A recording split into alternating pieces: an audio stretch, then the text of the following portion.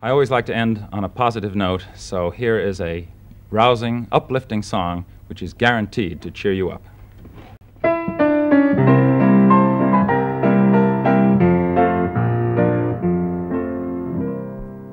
When you attend a funeral, it is sad to think that sooner or later those you love will do the same for you.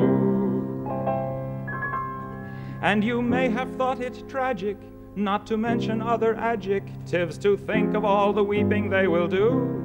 But don't you worry, no more ashes, no more sackcloth, and an armband made of black cloth will someday nevermore adorn a sleeve.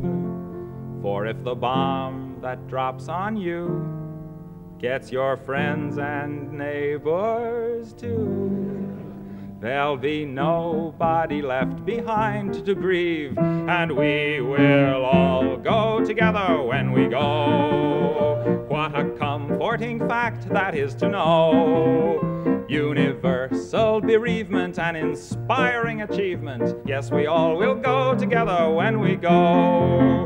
We will all go together when we go. All suffused with an incandescent glow. No one will have the endurance to collect on his insurance. Lloyds of London will be loaded when they go.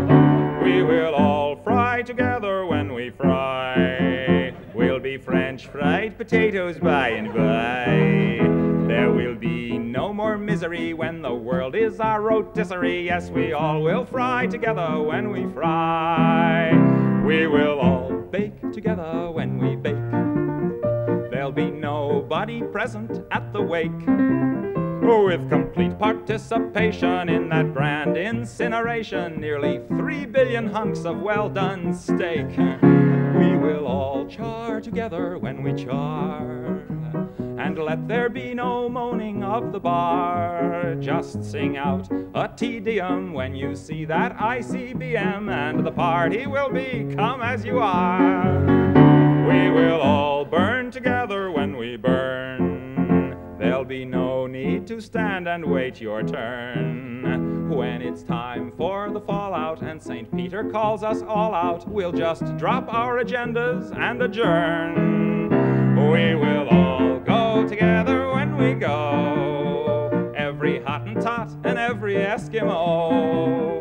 When the air becomes uranious, we will all go simultaneous. Yes, we all will go together when we all go together. Yes, we all will go together when we go.